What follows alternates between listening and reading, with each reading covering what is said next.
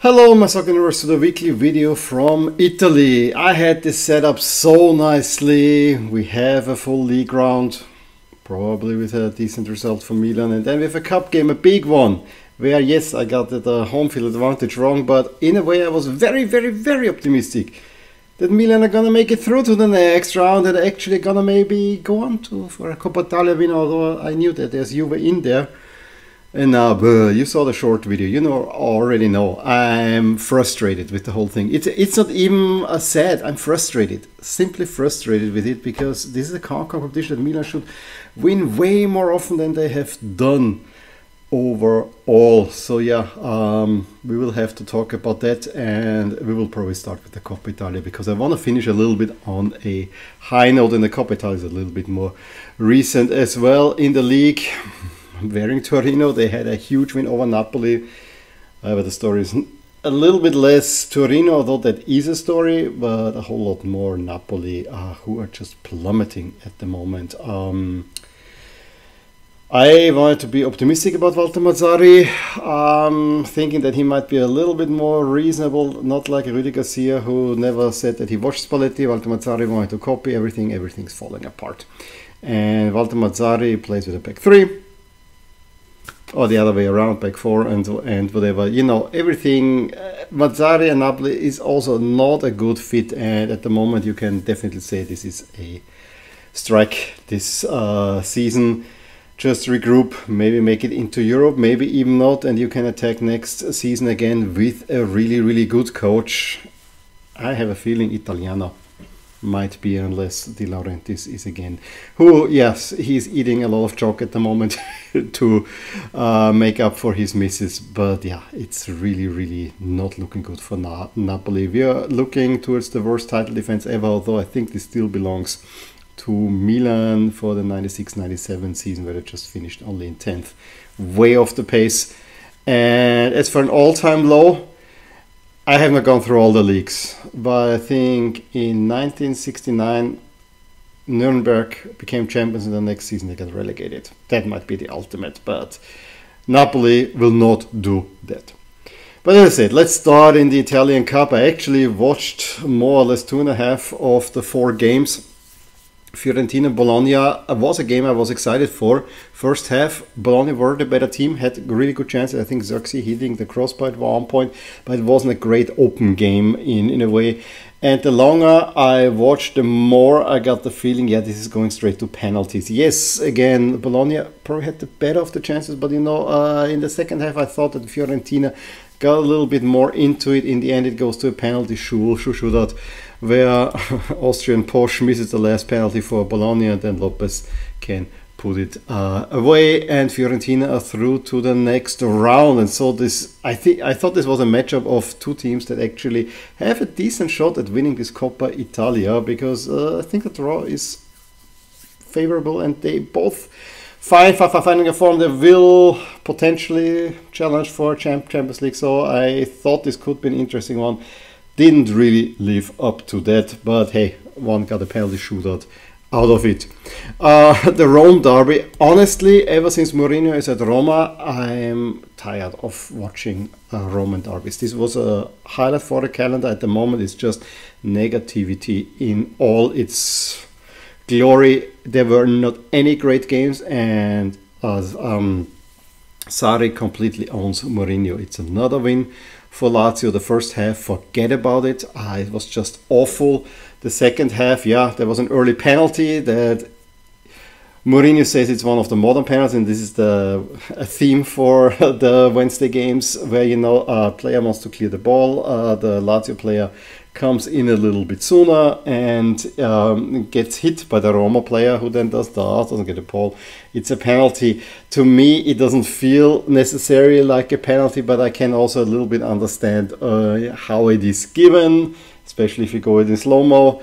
My favorite part of that was that Mourinho said this is a modern penalty. This did not exist before VAR, and then uh, Lazio countered and even made a picture of even on Mars. This would have been a penalty so penalties on Mars.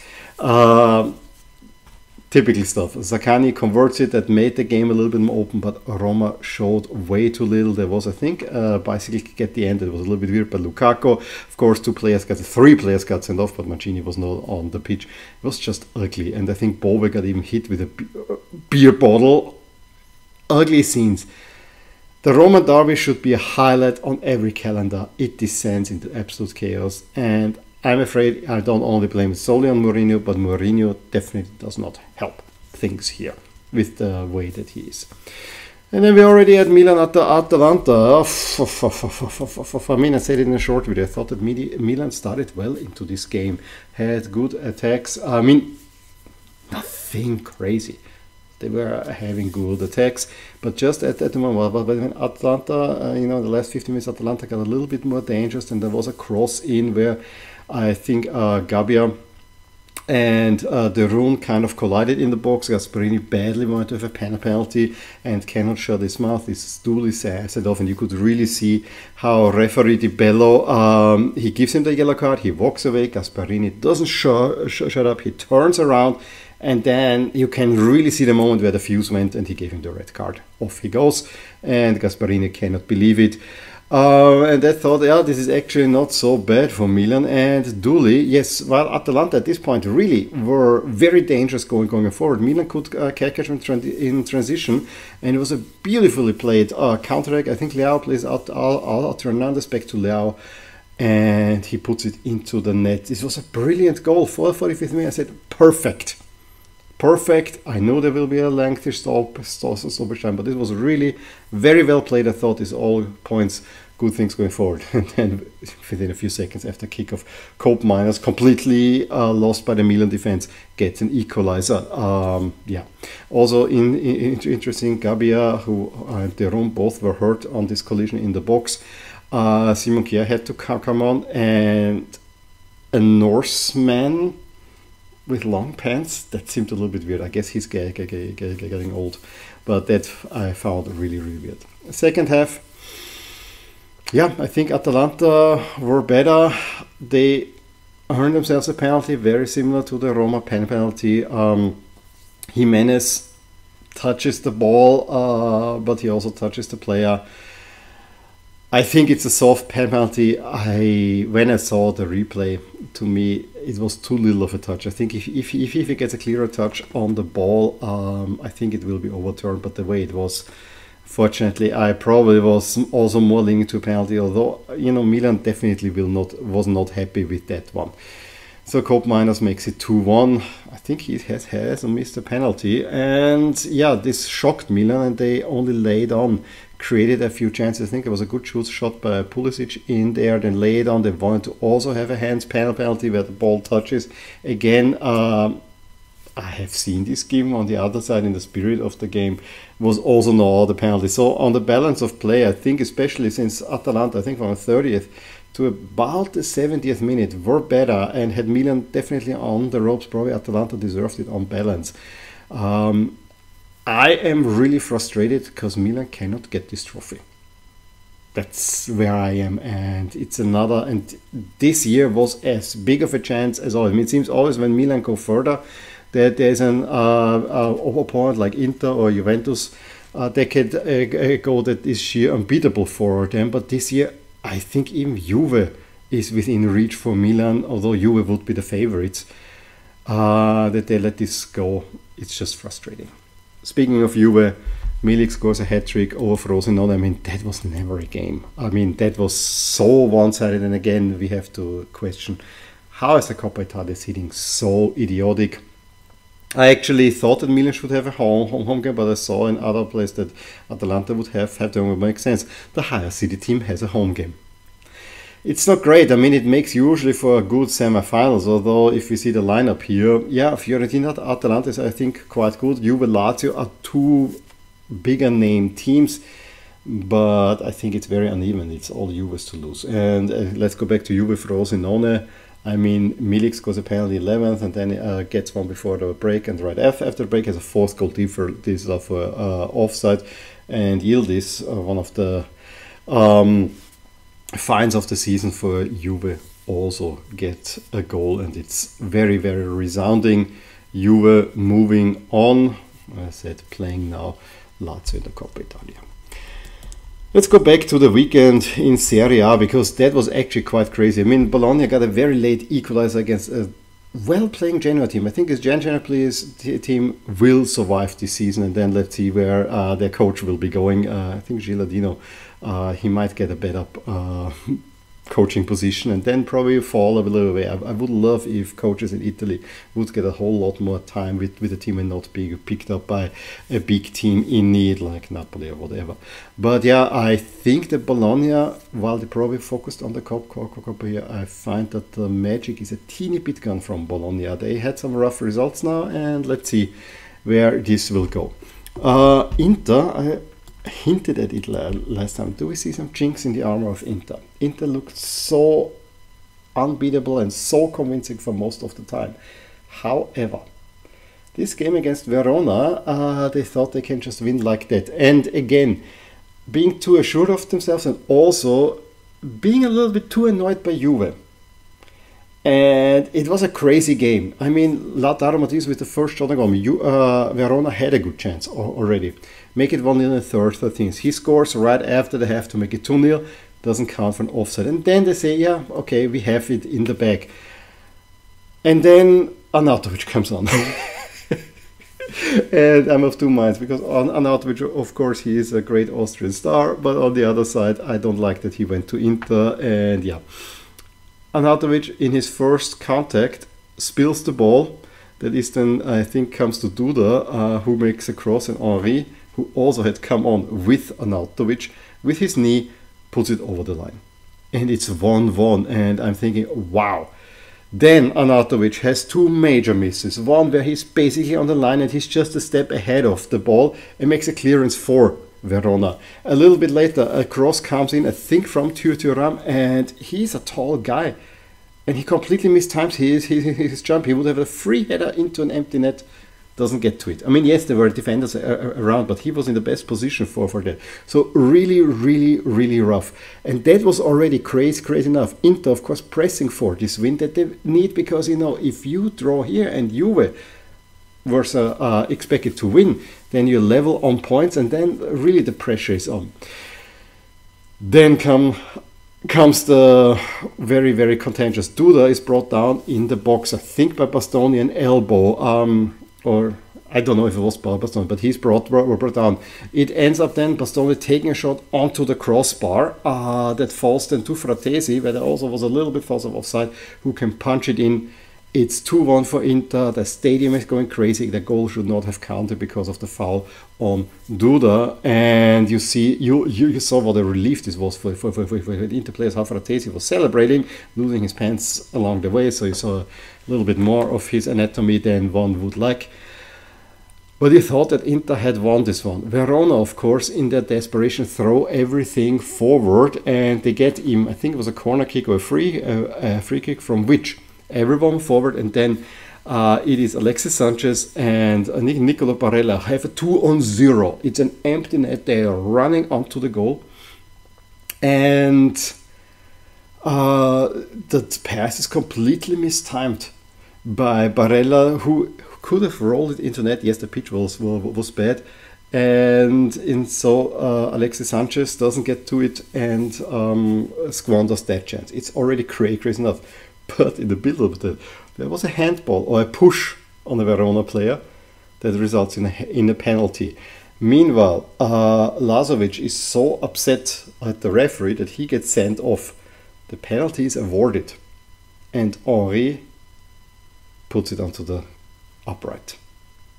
Absolute madness. This was one of the craziest stoppage times that I've seen in, in, in a long time. Well worth the time watching.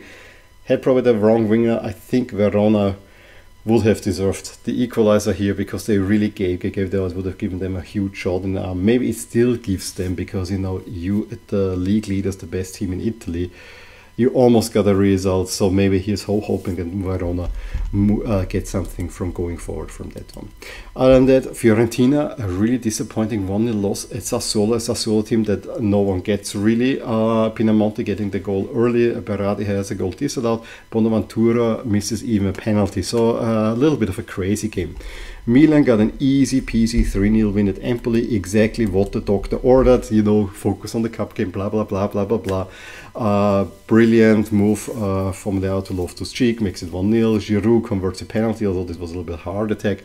Again, I have to say the penalty, yes, there's an arm like this, but touches just the fingers. While this was given for Milan, I, I don't like these penalties. Uh, but yes, there was a short uh, period where I thought that Empoli was maybe threatening, but in the end it was a really, really easy win. And then Pulisic assists Traore, who just had scored in the Coppa. And now he gets his first goal for uh, in the league as well in the 88th minute. Uh, Milan probably by the 60th minute should have put this game safely away, but it was an easy win. Then all eyes turned to Torino. Torino uh, finally converts their chances. Let's put it this way but it was crazy destruction for Napoli. Sanabria gave uh, Torino one lead. Zapata and Sanabria uh, co, um, connecting there. Then Mazzocchi comes finally play. He's a Napolitan. Finally comes on for Napoli. Plays for Napoli within four minutes. Is sent off, and then uh, it goes only one way. Vlasic after another Zapata assist, and then Lazaro assists Buongiorno. Three 0 for Torino every bit as deserved, and Torino beat their former coach in Walter Mazzarri. And I have to say, under Juric, Torino look a much better side than they were ever under Mazzarri. At the same time, Lazio uh, fought hard but got the 2 1 win at Udinese. Late goal by Vecino was actually quite a nice attacking move. Then uh, Juve almost dropped points at Salernitana that they had just disposed in the Cup 6 1 because uh, Maggiore had a 1 0 halftime lead. I mean, uh, it really then tipped. Maggiore before that had gotten a yellow card, then he gets sent off, and that turns the game. So for uh, good more than half an hour, suddenly uh, Juve play with a man more. Iling Jr. get the equalizing goal through Vlahovic, and then when you thought it ends with a draw, Vlahovic puts one in and it's 2 1 for Juve, who uh, get another important win. So, again, a late stoppage time goal for Inter, a late stoppage time goal for Juve. The momentum is with those two. What can I say to you about Roma Atalanta? Yeah, Mourinho got sent off. I, you know that I like Roma. I really like Roma a whole lot. At the moment, I don't. I, I, I just cannot stand Mourinho. I really cannot stand. And what he has made with this Roma team that under his predecessor Fonseca, they were maybe not as successful, but they played well. Now they're just a dirty, disgusting team that is dependent on two players, Dybala and Lukaku. There's nothing special about them any, anymore. Dybala gets the equalizer Koopmeiners. Again, he's in really cool, good form now that uh, Lookman and so on are, are, are, at the AFCON, the Catalan and Koopmeiners and so on really step up. It's 1 1, and yeah, I think it was then a decent game, I think, but nothing really to talk home about. And so, yeah, stays more or less. Uh, we didn't have any big, big, big, big, big changes in the, in the table. The big one is, of, of course, that you know it's really tight from Fiorentina to Napoli. I mean, Na- Napoli is still not too far off, but five points is five points. Milan have a little cushion over Fiorentina now, so top three finishes there. But if you're out of the Coppa, honestly, um, the fan base wants a title. That much I, I can say, and I don't think it will be the Europa League, and it's a real steep climb for the league because you have two to catch. If it was only one to catch, I think this will be possible. But catching two, that's nigh impossible unless you go for a real, real run. But given you have the Europa League, I don't see it happening, honestly. Milan also have a great or big game on the weekend, yeah, against Roma. I just said uh, it's usually a highlight game for me. I'm not looking forward to it. I want to see what Monza can do against Inter. Can Napoli bounce back against Salernitana? And I think a sleeper game is the early uh, on Saturday between Genoa and Torino because those are two teams that are in a relatively good shape. Juve should win against Sassuolo, and as I always say, I say should, and let's see where, where it goes. So this was it from me from Serie A. Please let, let me know what you thought about the action. Give me a thumbs up if you enjoyed this video, and I'll talk soon about more in my soccer universe. Bye. Hey there, I really hope you enjoyed this video and if you did, here are some videos and playlists that you may enjoy too. Also, please consider subscribing to my channel and hit the little bell icon so you get notified whenever something happens in my soccer universe. And with that, have a wonderful day. Bye!